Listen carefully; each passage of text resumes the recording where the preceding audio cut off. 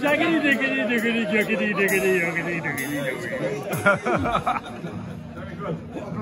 Okay, it's that time of day when we need to say a few thank yous.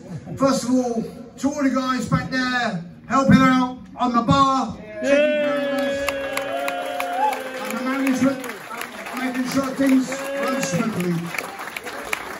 Is a focus moment? I want to also say a big thank you to our guys back there, our man Mr. Mark Emery, formerly known as Hobbit, on the sound. And Rupert! is that Callum? Rupert! Yeah, Lucas. Rupert! Rupert! Yeah, Rupert! Rupert. Rupert! Rupert! Rupert, that's Rupert. His name, isn't it? It's Rupert. Wonderful. Anyway, thank you very much for helping. Also, big hand for Christina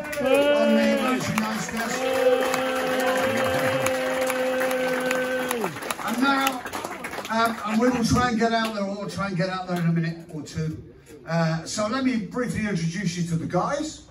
Over here, uh, he's not from suburbia, he's from Serbia. This is Misha Nikolic.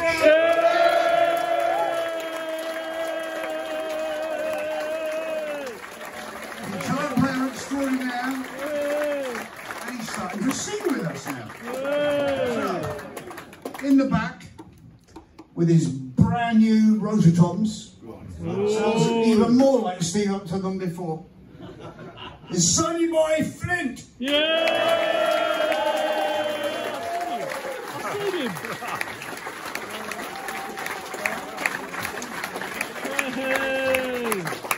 Um, we'll be seeing his dad next week, I think it is, when we play in Bath.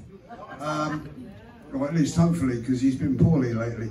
But yeah, he he was Hughie Flint, who used to play with um, John Mayall's Blues Band in the 60s. Right, and then over here we've got this cheeky little face that belongs to Danny Wilson.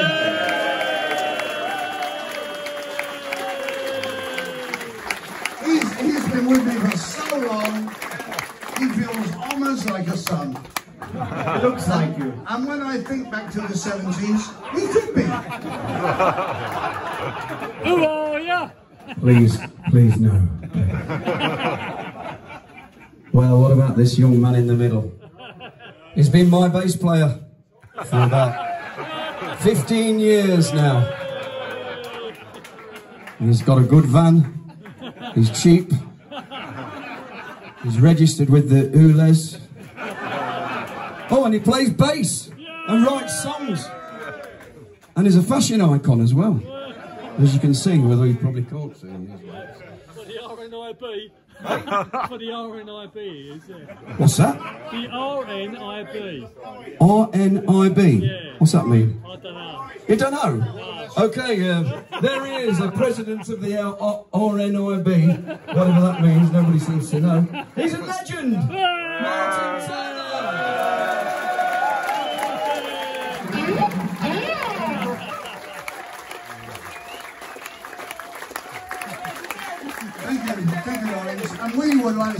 You to you guys for coming out this evening and being the, um, the heart of rock and roll in Chislehurst.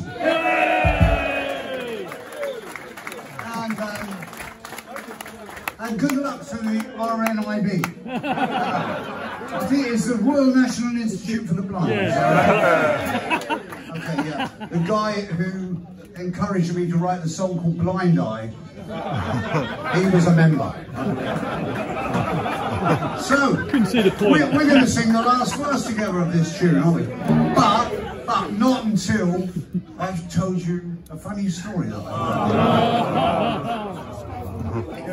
Yeah, this this couple that were going along, they were going along for camp, they were going along for counselling. I think their marriage was a bit rocky, and they went along for counselling. And um, anyway, the the counsellor said, um, "Your wife tells me that you never buy her flowers."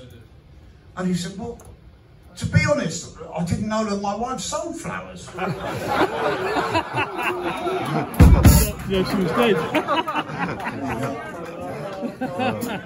And, um, and another little one, I don't, I, maybe I've told this before, but I'm not sure.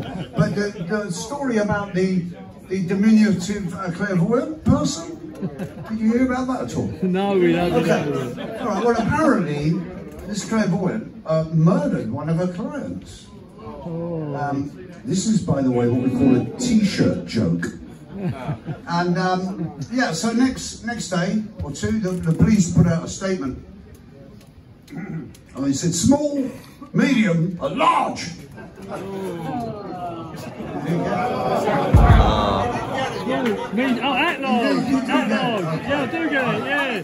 That's what you call a t-shirt, joke. Yeah. Like nut screws. Right, let's, let's do this tune. Let's sing the last verse. Ready?